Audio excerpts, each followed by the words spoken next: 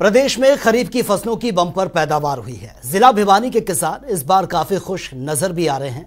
इस बार बारिश कपास की फ़सल के लिए सबसे ज़्यादा फ़ायदेमंद साबित हुई है। वहीं कपास के साथ साथ मूंग, गवार व चारे की फ़सल को भी काफ़ी अच्छा फ़ायदा मिला है। अच्छी पैदावार होने की उम्मीद है। वहीं मेरी फ़सल, मेरा ब्यौरा पर पंजीकरण में भिवानी जिला नंबर वन पर आ चुका है।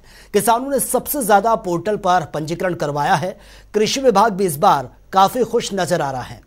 उनका कहना है कि इस बार भिवानी का किसान मेरी फ़सल, मेरा ब्यौरा में नंबर वन पर है और सरकार ने इसकी तारीख को भी बढ़ा दिया है और अब इसकी तारीख बढ़ाकर 17 अगस्त तक ये कर दी गई है। ये रिपोर्ट आप देखिए। प्रदेश के किसान आज परंपरागत खेती को छोड़कर आधुनिक खेती का रुख कर रहे हैं। वहीं प्रदेश सरकार भी किसानों को आधुनिक खेती करने पर तमाम स्कीम्स के माध्यम से अनुदान राशि प्रदान कर रही है। इस बार प्रदेश में खरीफ की अच्छी फ़सल हुई। कपास मूंग गवार व चारे की फ़सल की अच्छी पैदावार होने पर किसान बेहद खुश हैं। अब की बार बारिश बढ़िया हुई है। पिछली बार बाजरा बो रखा था अब की बार कपास बो रखी है। पिछली बार कपास का भाव अच्छा था अब की बार भी सही है भाव कृषि विभाग इस बार काफ़ी खुश नज़र आ रहा है। कृषि अधिकारियों की माने तो बारिश इस बार कपास की फ़सल के लिए अच्छी साबित रही। कपास की पैदावार बढ़ी है, कीट बीमारियों से फ़सलों को कोई नुकसान नहीं पहुँचा। कपास के साथ साथ अन्य फ़सलों की भी अच्छी पैदावार हुई। धान का एरिया हमारा पचपन हज़ार एकड़ एरिया इस बार खरीफ में लोगों ने रुपाई की है धान की। और कॉटन का एरिया हमारा इस बार बड़ा है। पिछले बार हमारा दो लाख बीस हज़ार एकड़ एरिया था तो इस बार हमारा दो लाख पैंसठ हज़ार एकड़ एरिया हो चुका है। और अभी तक के कपास की अच्छी फ़सल है, किसी तरह की कोई बीमारी नहीं है।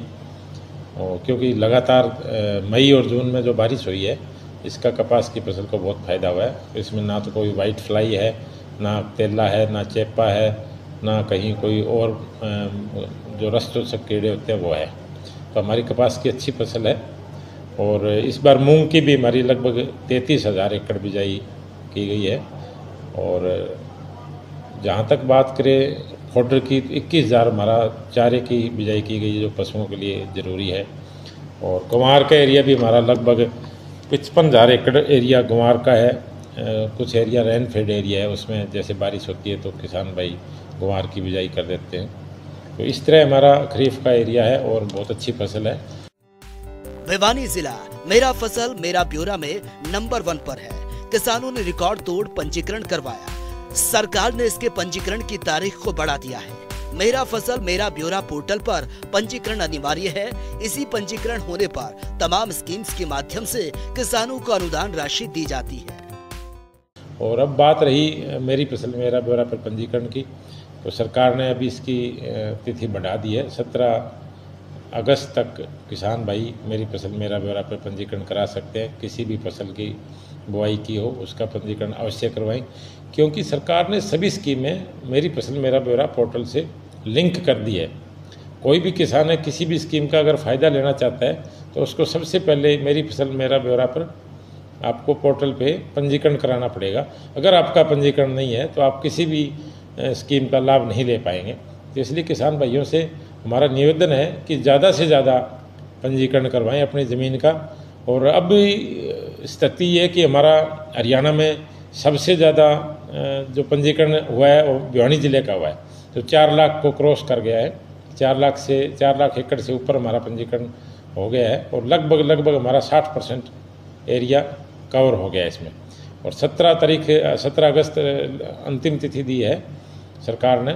तो किसानों से यही प्रार्थना है कि आप जल्दी से जल्दी अपना पंजीकरण करवा लें, ताकि M P M V scheme है, मेरा पानी, मेरा वर्ष स्कीम है। यहाँ लगभग तीन हज़ार एकड़ का टारगेट दिया हुआ है। धान छोड़कर कोई भी किसान दूसरी फ़सल लगाएगा। जैसे आप गुमार लगाओ, मूंग लगाओ, हरा चारा बो, कपास बो तो आपको सात हज़ार रुपये एकड़ के किसान को प्रोत्साहन राशि उसके खाते में सीधी डाली जाएगी। इसी तरह बाजरा में भी, बाजरा डाइवर्सिफिकेशन की स्कीम भी है हमारे पास। कोई भी किसान भाई, बाजरा छोड़कर अगर मूंग लगाता है, दलहन तेलन फ़सल लगाएगा तो उसको चार हज़ार रुपये एकड़ के उसके खाते में डाल दिए जाएँगे। प्रदेश सरकार किसानों को परंपरागत खेती छोड़ आधुनिक खेती की ओर अग्रसर कर रही है। किसान भी आधुनिक खेती कर सरकार से मिलने वाली अनुदान राशि की मदद से आज उत्तम फ़सलों की खेती कर लाखों में मुनाफा कमा रहे हैं। Thank you.